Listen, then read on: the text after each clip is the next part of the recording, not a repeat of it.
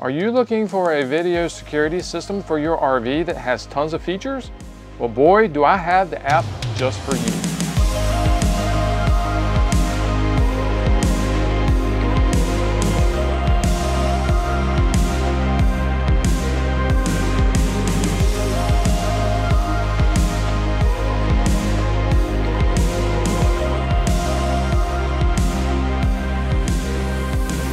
Hiyo and welcome back. I am Jason with Imagine Your Odyssey, where we bring you tips and how-tos and reviews of different things about RVs from my experience. And from my experiences, I knew that I wanted a video security system for my RV.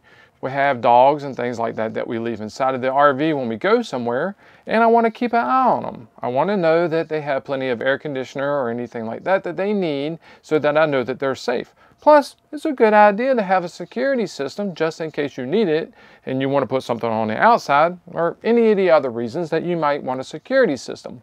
And because of that, I have just the perfect app for you. Now, before we get into all the details about what the app is, I would like to ask you to click on the subscribe, ring the bell, click on the all notifications, give a thumbs up for the video and everything else because YouTube likes it. Now before I tell you what the app is, I wanted to remind all of you out there that this is not paid. I didn't get contacted by this company and get asked to promote this in any kind of way. I'm not getting paid, reimbursed, or anything like that. Like I said, this is from my experiences and I wanted to share it with all of you. Now, let's go ahead and talk about the app. The app is called Alfred Camera. You can get this app on just about any device. Now what this app does is puts a program on your device. Now in my case, I'm using an iPhone and I'm using an iPad behind me as the actual camera. We'll get into the details in just a second about how all that is set up. But if you don't have an iPhone or you don't have an iPad, you're using other devices that are not Apple devices, it'll still work for you. Now a real quick high level overview. What it does is it puts an app on here and it puts an app on the other device. They talk to each other through Wi-Fi or cell signal or whatever, however it's connected.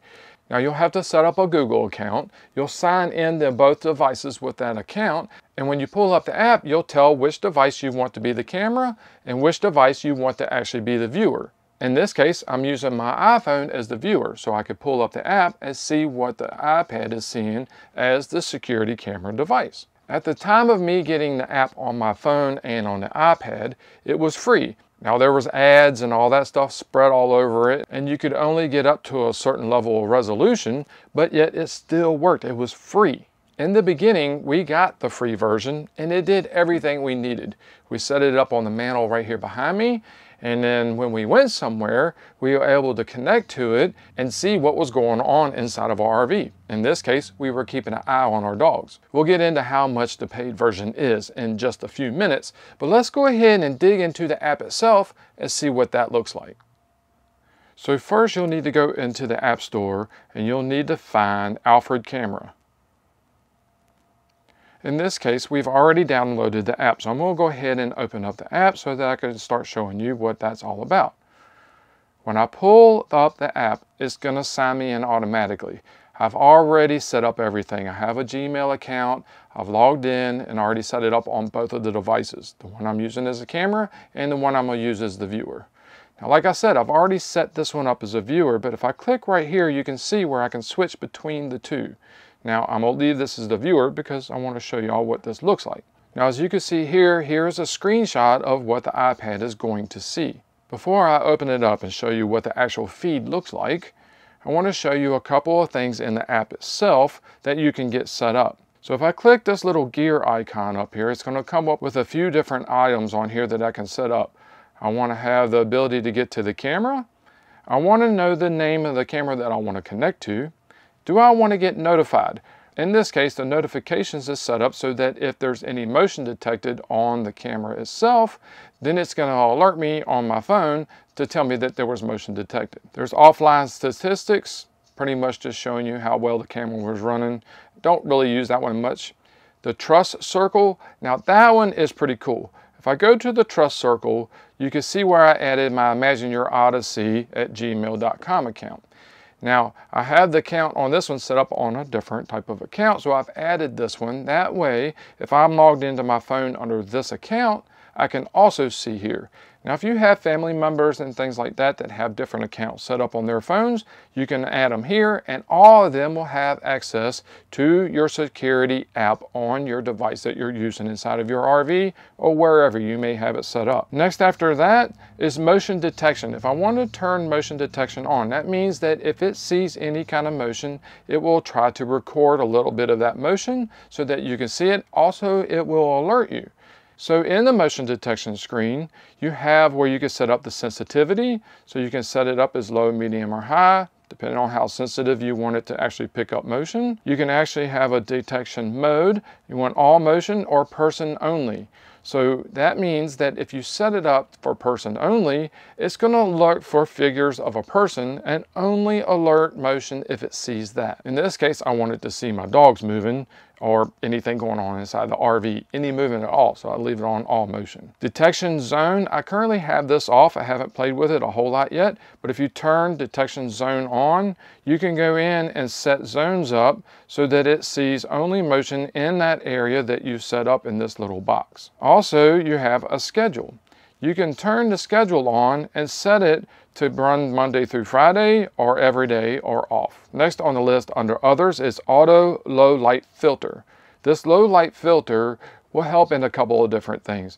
If the light inside of your camper or your RV or wherever you're using it starts to get low, it will try to bring up the ISO or make things brighter so that you can see better and help with a little bit of the graininess. The next item is stay zoomed in. In this case, if you have it turned on, it's going to try to zoom in to whatever it's looking at, if it sees motion or something like that. And when it zooms in, it's going to stay zoomed in.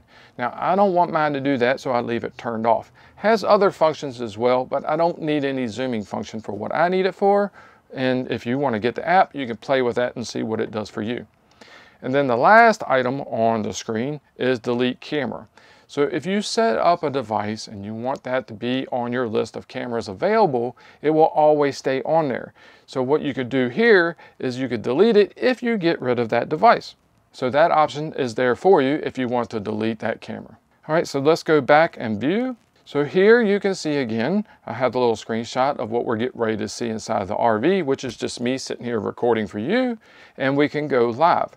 Before we do that, you can click on the little check button right here and it'll show the device, it'll show the system that it's running on, it will also show the app version, and below it, it will give you some stability tips.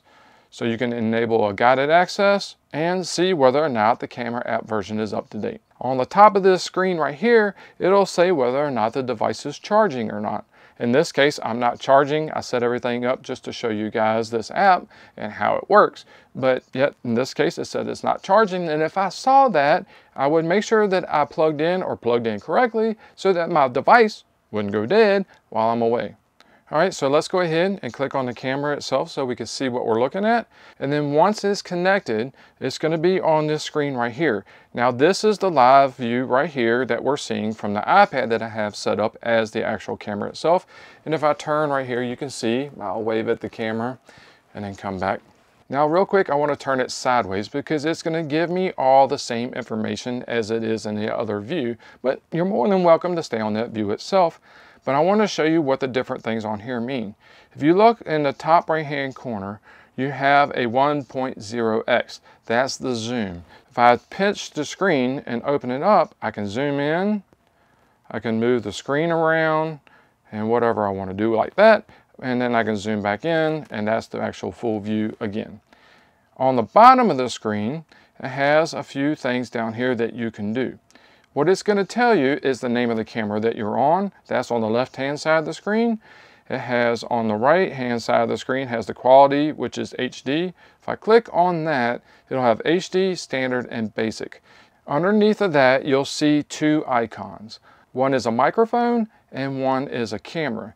The microphone itself, if you click and hold on it, you'll see a little microphone pop up. And I'm sure you can hear behind me so I'll go ahead and stop there. If you click on that microphone when you're away from your camera, it will act as a microphone so you can talk through the device that the camera is set up on.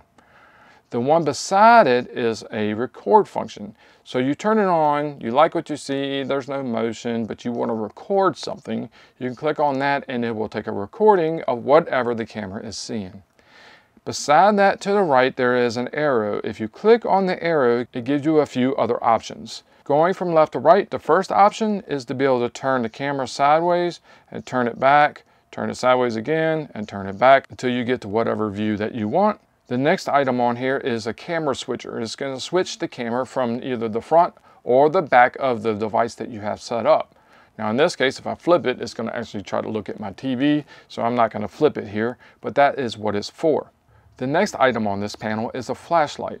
So if it's starting to get dark inside of your RV and you want to have a little extra light for the camera to see, you can click on this and have it turn on to give a little extra additional light so that the camera can see a little better. So I'll go ahead and click on it and you'll be able to see in the screen behind me right here where the light comes on on the iPad itself. So I'll turn it on and you can see where the light come on and I can turn it right back off and the light is back out again. The next item on the panel is the low light filter. So if I click on this, things are to get super bright because what it's trying to do is bring in more light so they can see. So it's getting dark outside, right? So I click on it and the low light filter is now on and you see that it is super bright.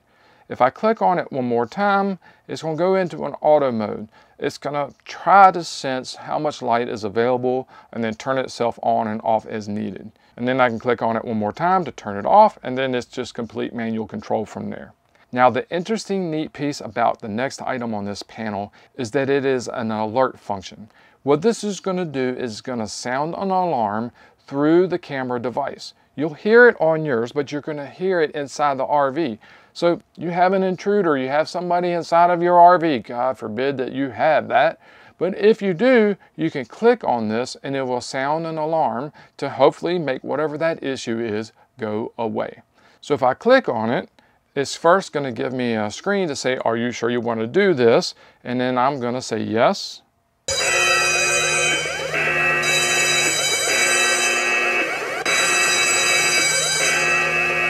And then I'll turn it right back off. So you can see that the alarm itself is actually really loud and it could deter something. I don't know. Anyway, it's there if you need it. So if I click the arrow on the right hand side one more time, it'll go back to the home screen and from there I'm right back to where I began. So all in all, that is just about it for the Alfred camera. There isn't a whole lot more than that. You know, you put the app on two different devices, you sign in and you connect the two and you're just about done. And there's tons of help files to be able to get you where you need to be. Now, one word of the wise, the camera that you're gonna use inside of your RV or wherever you're gonna put it, you need to make sure that it has some kind of Wi-Fi signal connection. Now, if you have a device that's already a cellular device and it's connected like that, you're just fine. If the device that you're going to use needs Wi-Fi connection, you need to make sure that you have something set up so that it can talk to the internet. Now for how much does it cost? Now like I said before, you could put the app on a couple of devices and try it out. It's pretty much free, or at least it was when I got it the first time. Then after that, if you want to pay a monthly subscription, you pay that at $3.99 or $4 a month. And what that does is it gets rid of the ads and when you click on the monthly paid version, it will tell you all the additional options it's going to give you at that moment before you make the purchase. Don't click off yet. I want y'all to leave some comments down below about security systems that you run inside of your RV. I'm highly interested in knowing what y'all have set up already and how does it work for you. I'd also like to throw a little challenge out there. If any of you have a security system inside of your RV, I'd like for you to pull it up Get in front of that camera, make some silly face, take a screenshot of it, send it to me at iYOconnect at gmail.com, and I'll pull it up and put it on my community tab on my channel to share with everybody. So until the next time, enjoy Alfred Camera, enjoy your security systems, and God bless.